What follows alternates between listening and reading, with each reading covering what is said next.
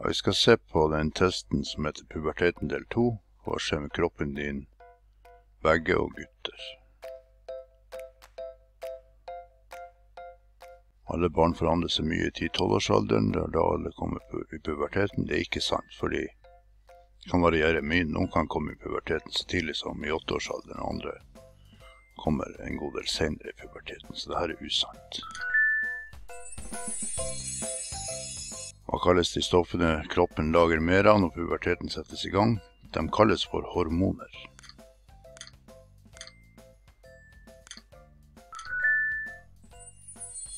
Det starter med at uh, i hjernen så lages det noen hormoner som setter i gang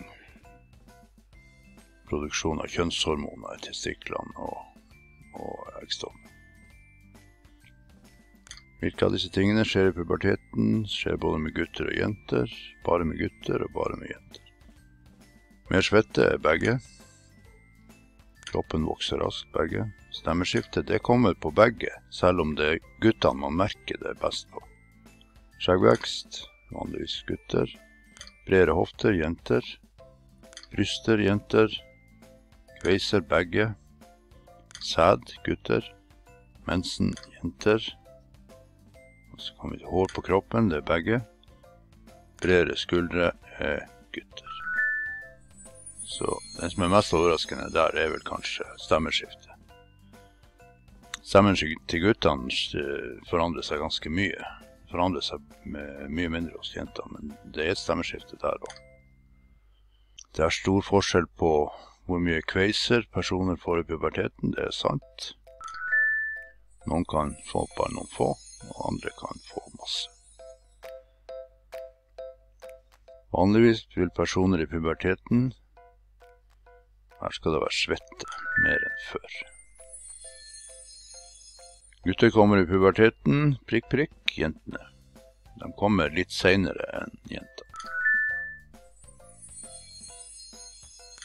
Gutter får ofte et stemmeskifte som er tydeligere enn jentene. Hva kommer stemmeskiftet av? Strupehodet vokser, og stemmebåndene som er inni strupehodet. Her er strupehodet, hele greia.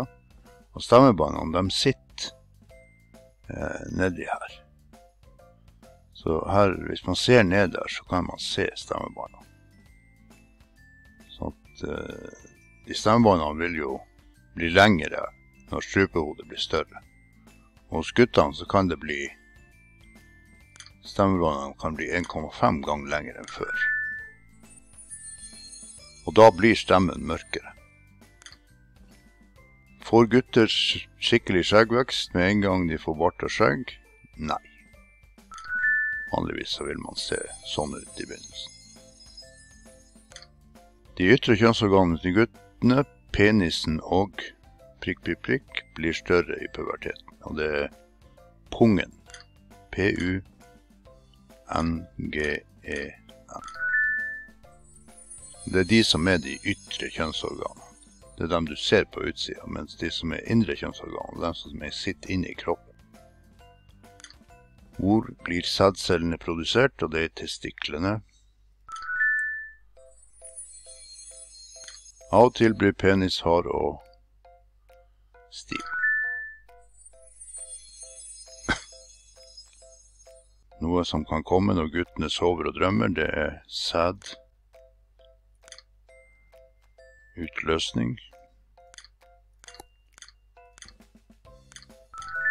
Det kan være vanskelig å stave, eh, og det er en god del staving på mange av de testene her, så hvis det kommer et ord til, så skal jeg vise deg hvordan du gjør hvis eh, du først staver feil, for å rette opp feil stav.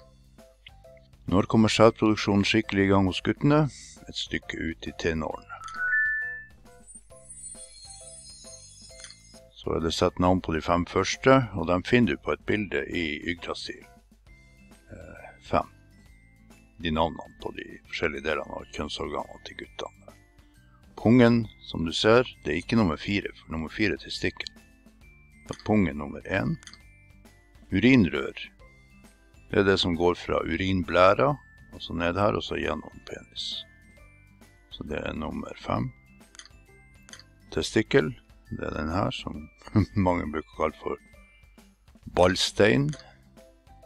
Endetarm. Det er jo her bak. Det er nummer tre.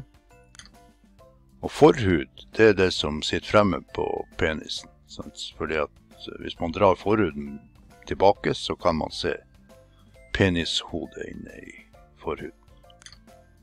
Nummer to.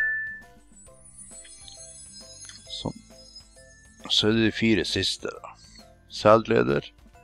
Det er den som går fra testiklene her nede, der sædcellene blir lagd, opp her. Og så til noe som blir kalt for sædblære her bak, der de samles opp. Så sædlederen er nummer åtte, da.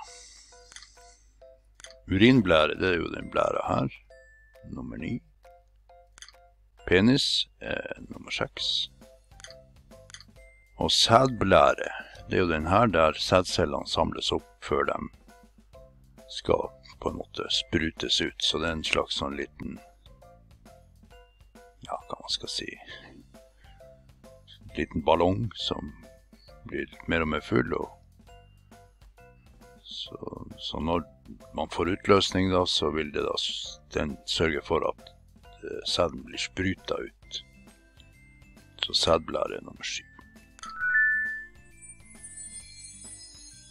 Så jeg fikk jo ikke så mange poeng her, men uh, jeg har nå gjort det som er riktig. Jeg håper det kan være til hjelp hvis du plages.